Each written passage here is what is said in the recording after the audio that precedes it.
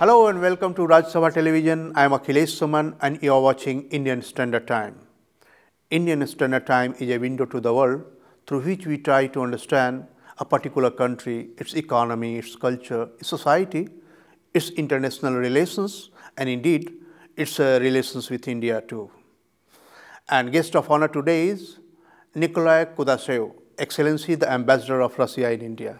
Thank you. Welcome, Ambassador. Thank you very much. Uh, Ambassador, when any Indian talk about Russia, it's a really a great passion, great emotion flow between the hearts of two countries, people of the two countries.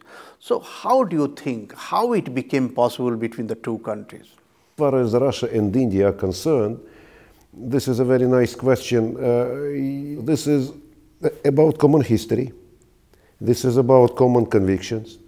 This is about bilateral sympathy, which lies deep, deep in our hearts.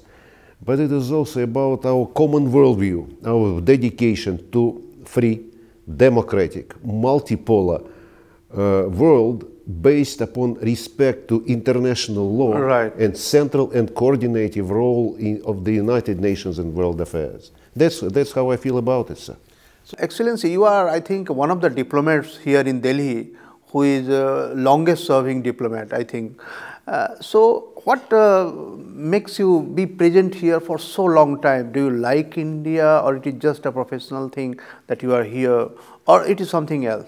So this is definitely a combination of the two. Well, on, on the one part of it, this is my this is my duty, this is my service. Right. But on the other, but on the other part of it, I first came here in 1999, and I spent spent my first posting posting of six years here in India.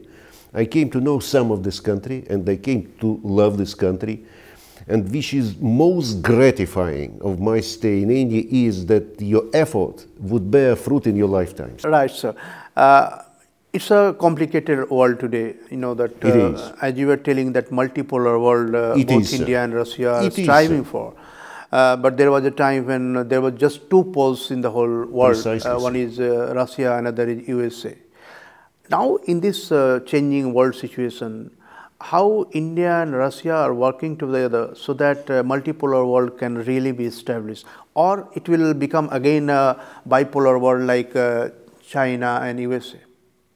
So, well, uh, Moscow and New Delhi, Russia and India are working a lot to secure this multipolar tendency in the emerging layout, if I may. right. Like we are closely cooperating to strengthen the central position of the United Nations Right, in the uh, in the global in the global order.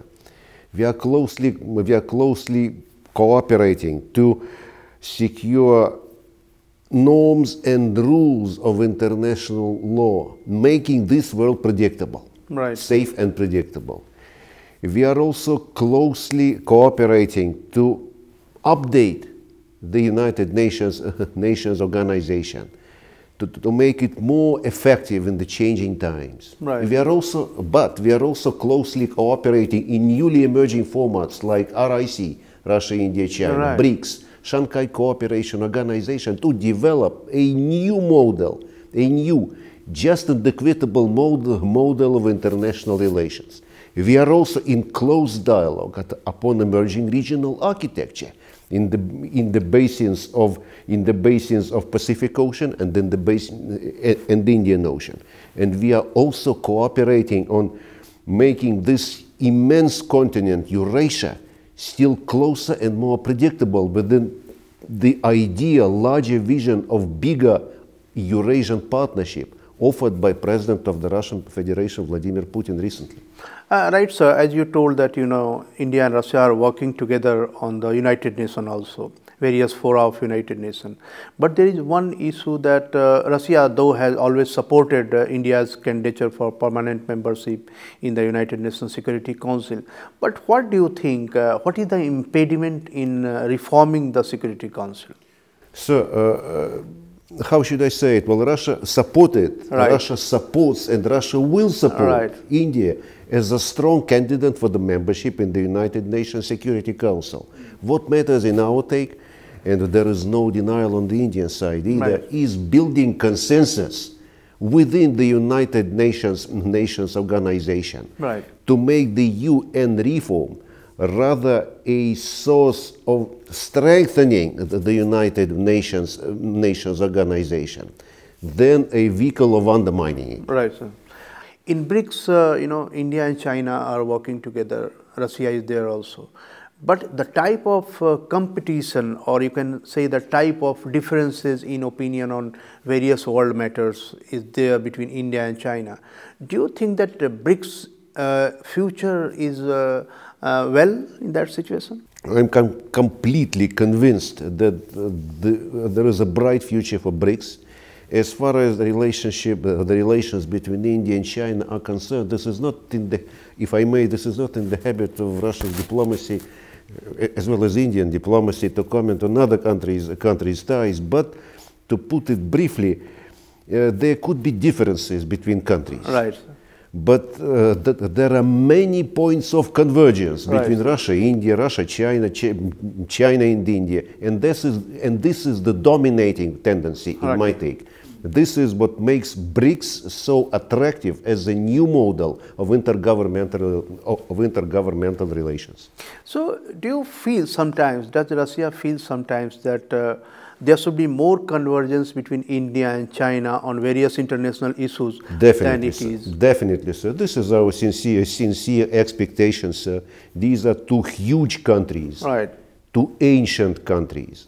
The two countries playing defining role for global stability and global development. Right. And naturally, the more uh, there is a dialogue and understanding between Beijing and New Delhi, uh, China, China and India, the better.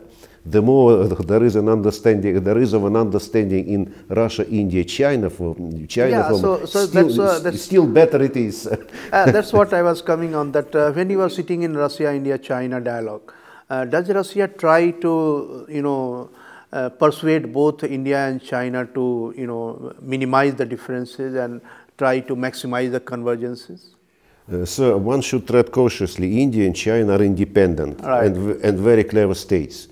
Uh, we do naturally we do not interfere into Right. your bilateral relations Right. relations with, with Beijing with China, but we are most supportive in any way and in any case of enhanced dialogue, enhanced interconnection between uh, between India and China. This is our continuous position. Why I'm asking this question? Because we have seen the fate of SAARC. SAARC has been started in this region with very big ambition that these South Asian nations will cooperate. But uh, when uh, there was difference between India and Pakistan on uh, various issues, and one of the prime factors was terrorism, SAARC is not functioning. So, in the same way, I, I was asking that uh, once India and Pakistan have joined SCO, Shanghai Cooperation Organization, both are there again. Do you think that SCO may also be impacted the way SAARC was impacted? So I don't. Well, uh, Russia would not belong to SAARC. Yeah. So, so I would. I could sound only hypothetical. What I could say is that the experience of India's membership and Pakistan's membership in SCO is successful, sir, in Yeah. my take. This is uh, a body, this is a structure who, whose authority is growing. Uh, and uh, the countries of SCO they would cooperate successfully on many issues, be it uh, the, the, the, the issues of global stability, non-proliferation, be it especially the issues of fighting or facing together new challenges and threats, be it the issues of economic cooperation, humanitarian contact, and many, and you name it, sir. Uh, differences Uh, differences, but the sides learn the lessons how to cope with them. Right. Thus, maybe, sir, I repeat that Russia is not a party to SAARC, but maybe the experience being accumulated step by step on the, within the SCO platform could be emulated within the within the SAARC platform either. And maybe in a way, in a way, the idea of larger Eurasian partnership proposed, offered by President Putin for consideration Right. could be a source of inspiration for such process. Th- That's where I would prefer to stop. Uh, it's uh, really interesting that Russia is one country that is there in BRICS also, that is there in RIC also, that is there in SCO also, and in along with India. Yes, sir. So Russia becomes somehow or other focal point between India, Pakistan, China. So do you feel sometimes burdened with these issues between India and China, issues between India and Pakistan? There is no burden for us Yeah. because after all we are neighboring states. We do populate the same the same continent, and this is our sacred a sacred obligation to promote peace, development, and cooperation within this within this continent. Whenever we feel we could be helpful, we are there. That's rest rest assured. Burden, I would not say, sir, there is much of a burden. Concern, uh, our desire to contribute, our desire to support the positive developments, it is there. But it could not be named a burden. sir. Uh, Many times people feel that after collapse of USSR, India and Russia will go away because of uh, India's needs had uh, changed because Russia might not be fulfilling the needs that India might be having. But uh, it was wrong. Uh, India and Russia came together again. So recently, after Prime Minister Narendra Modi came to power, there two many uh, two striking things came into being. One is Look East was changed into Act East, and then Prime Minister Narendra Modi articulated, uh, you know, principle of Indo-Pacific. So India and Russia being very close, very special privileged partners, do you have any uh, understanding about Indo-Pacific? What India says, is it right, is it wrong, or you have some differences about it? Well, so how, how should I say? This is a matter for discussion. This, uh, this is a matter for intensive dialogue. Right. And this dialogue is ongoing between Moscow and New Delhi, between, between Russia, uh, Russia and India. Well, uh, India belongs, uh, belongs uh, to the Indian Ocean, and we st- study carefully uh, the uh, Prime Minister, the, the Prime Minister Modi's initiatives for, for, for, for the Indian Ocean and for the Pacific Ocean. Right. If you would ask me what is the, the matter of our concern, Right. the matter of our concern are the so-called Indo-Pacific strategies, origin of an extra-regional nature, Right. originating uh, any other place, like be it, be it Washington, be it even Tokyo or Canberra. Right, sir. Yes, we are suspicious. We are suspicious about them. How to manage this situation is precisely a matter, a matter of dialogue. Uh, but uh, when you tell the word suspicion, what is the suspicion about? Uh, there is a strong reason to, reason to believe that certain Western, or Okay. certain Atlantic or Western Indo-Pacific stra- strategies uh, are being uh, promoted with the sole purpose to revive the bondage, the heritage of the, of the Cold War, to isolate certain countries, like, for example, Russia or like China, and to see discord within the, within the Eura- Eurasian space. Uh, you please trust me, after all, the origin of the so called Indo Pacific strategies and the origin of the uh, strategies encouraging NATO's expansion, Right. the origin of the uh, strategies encouraging subversion of the global stability, like remember the fate of the INF Treaty. This, they are of the same origin. Right. They would originate in the same place, and it is hard to, to believe that they are of different nature. That's the reason for our suspicion, a very clear one, please.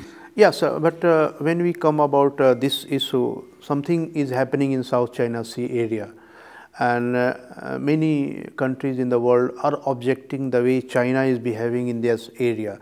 So India was also suspicious about the intentions of China, that whether it will be just stopping in South China Sea or this type of attitude will expand in other areas of Indo-Pacific. So in dialogue uh, between India and Russia, uh, has it figured the situation of South China Sea? Well, we are not a party to the disputes in the, Chi- Right. in the South China Sea. Right. We would welcome all the issues, uh, as far as the South China Sea is concerned, we would welcome all the issues to be negotiated uh, well, between the parties concerned without any formal interference. Right, sir. We welcome the emergence of the, of the, uh, of the de- declaration on the code of conduct and the code of conduct as such. So uh, we are actually witnessing a new era of Indian foreign policy. Definitely, sir. Where Indian foreign policy is trying to push it forward. Definitely, A bit, you can say that a bit uh, more aggressive than it was earlier. Please. And that is why it is Act Asia, that is why it is uh, Indo-Pacific. And again in, uh, in between came Quad.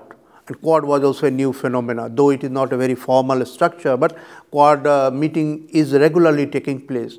So, uh, do you think that Quad also imposes the same type of suspicion in your mind as uh, you know Indo-Pacific thing? As far as Quad is concerned, you know, uh, there is no suspicion as far as India's poli- politics is concerned, Right. but as far as the other parts, Right. th- there is the participants are concerned. There, there is one, sir. Right, sir. Why is it? Uh, uh, I've already mentioned that. Uh, well, our position, I've, I've already sounded our position upon the in the in so-called Indo-Pacific strategies. Uh, th- they would to a large extent, Yeah. th- they would originate from the countries belonging to this to this vague structure. Right, sir.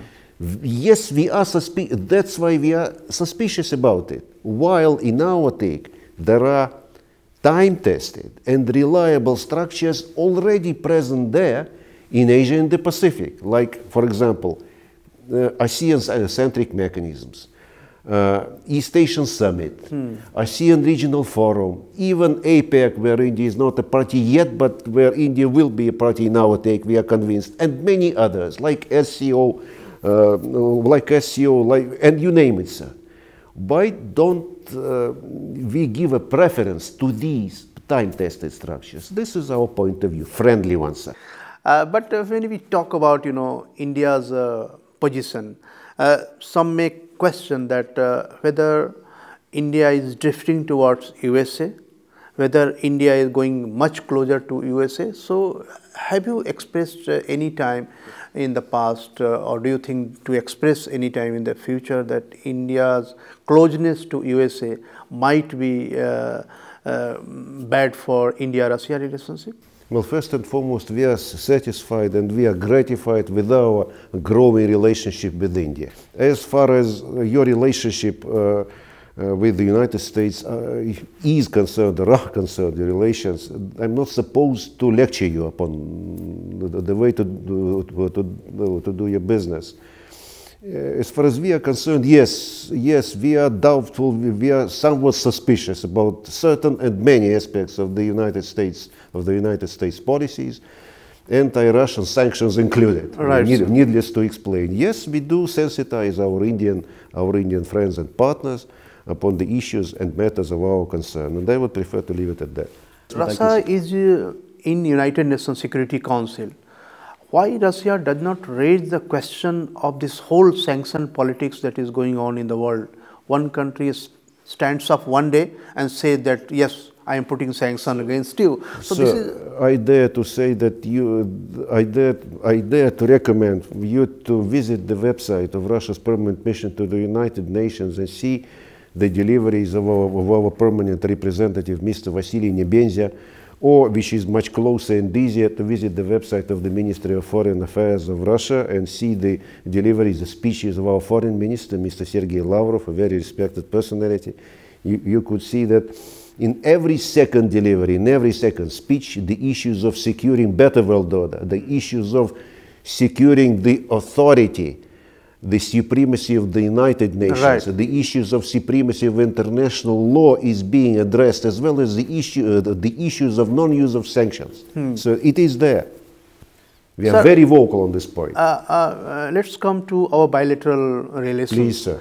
Uh, you know, India and Russia are known for having very good defense ties. yes, sir. Uh, what is new in this defense ties? Anything new that is coming to India-Russia defense relations?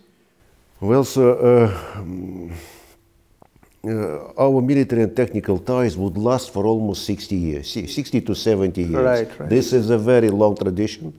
This is a tradition which already belongs to generations. Yeah. Uh, we are effectively a part of bilateral security. Right. India is a part of Russia's security, Russia is a part of India's uh, security.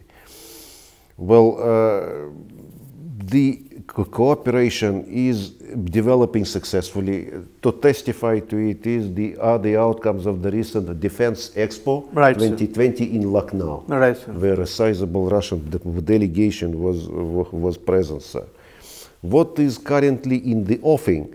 Well, serious contracts are being implemented, like the S-400, uh, well, air defense or anti-ballistic de- defense defense system, Russian frigates 11, 11356 project. Uh, we are working upon many many other agreements and understandings. uh, but what is so special about it is that uh, the special feature is that uh, you, you know. Uh, uh, Prime Minister Modi's government is introducing a, a quite a new scheme, the Make in India, the Make Right. in India idea. Yeah, yeah. Actually, I was coming to that. right, sir. Yeah. So, uh, are we going to see something new in Make in India? Yes, sir, definitely, very much so. Uh, when we talk about uh, uh, frigates, uh, project 11356, the two of them will be uh, will be done in Russia, but two of them will be done in India completely. Right. From zero, of- from zero, from from zero, sir. When we talk about Kamov 226T helicopters, the level uh, the levels of localization well uh, beginning with 70% the levels of localization would grow further sir. Yes, sir. and this is also the case for other for other ty- types of armaments to be produced or assembled or assembled in India in a way some in a way Russia uh, is proud of being the first country of introducing them, uh, the assemble in India or, or, or make in India into our bilateral practice. Some, believe me, 40 years ago. One of the major things that perturbs everyone that India-Russia relationship is so well, so good, but it does not go beyond uh, you know defense ties. It is always bracketed in the defense ties. So What is the impediment in the growing the relationship in other areas? I mean trade, trade and economy. Well, Suman, I would say that th- that uh, it is not really a correct evaluation of the state of our, of our relationships. Right. Uh, well, definitely, uh, military and technical relationship is one of the backbones of our ties, and we are proud of it. Right. We are proud contributors to Indian secu- security, and we are proud that we could depend on India as our close partner, strategic partner. Yes, sir. And this year we celebrate this, the 20th anniversary of our bilateral strategic partnership. But our trade and economy in other areas are not growing. so, well, uh, let me continue. Let me continue. But otherwise, aside of the military and technical ties, we've got growing cooperation. Where in space, Russia is a willing contributor, uh, contributor to the man, manned space, Indian manned space flight program. Right. Be it the Gaganyaan project, or be it the orbital space station, or whatever. This is a, this is a very sizable project. Russia is uh, a willing contributor to Indian energy security. It is not only about atomic energy, nuclear energy, it is also about oil, it is also about gas, it's about, it's about coal. Very recently, our Director General President of Rosneft, Russian oil company, Mr. Igor Sechin, was here. He's done the sizable contract for 2 million tons of Russian oil to be supplied to India for the year 2020 only. Okay. Uh, uh, uh, I could go, so oil, co- co- coal, and gas. Well, then comes uh, so infrastructure. We are willing contributor to solutions of Indian connectivity, connectivity issues, like our Russian railways, uh, RZD com- Right. Is a part of the upgrade of the Nagpur Se- Se- Sek- Secunderabad speedway and they, and they are looking for other solutions.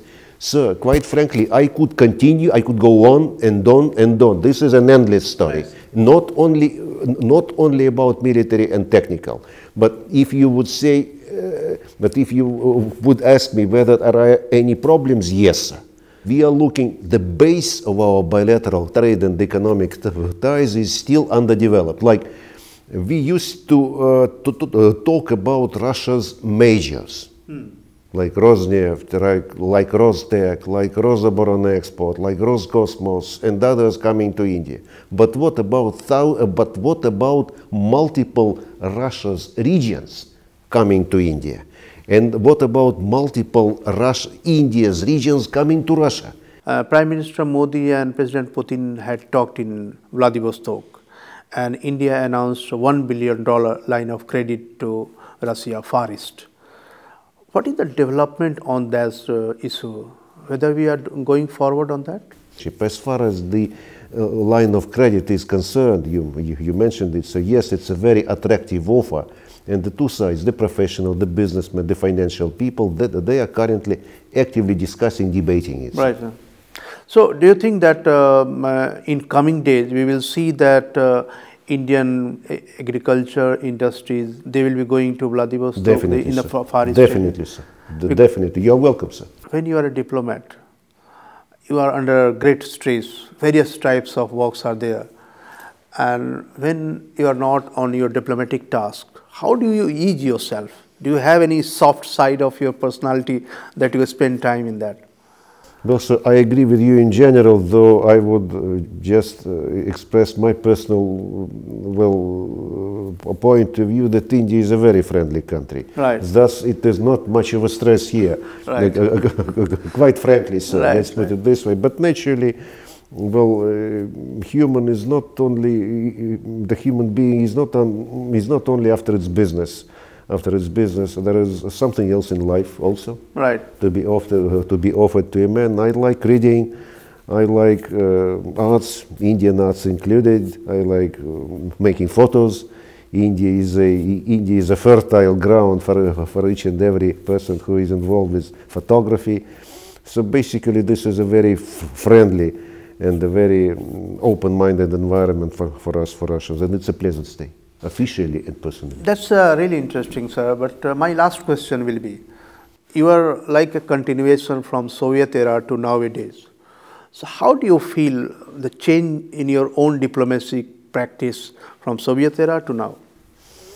Well, so what I should say is that uh, uh, what is so special of the new period, of the new se season in our relationship? Yes, the Soviet period uh, laid the ground for laid the ground and created the huge infrastructure of bilateral relationship mm. between Russia, Russia and India. What's so special of the new of the new period of the new season is that it opened the doors to participate in the development of our bilateral ties for quite for new, newly emerging social, social strata, be it businessmen, be it India's middle class, be, be it academics. That's why it made the scope of participants of relationship bigger. Right. And finally made the basis of our relationship stronger. Right. And that's what makes me optimistic about, uh, about the future of our ties.